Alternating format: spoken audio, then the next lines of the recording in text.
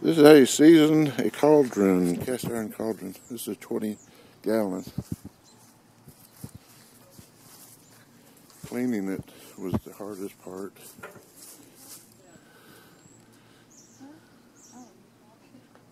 Making a video of how to season a cast iron cauldron.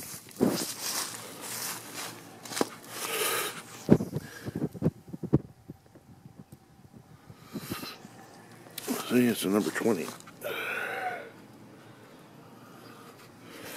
And the temperature right now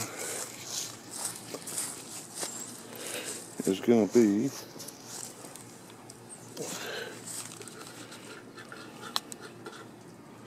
I don't know if you can see that. 280, 295. We're looking for 400. So we're going to be waiting around a little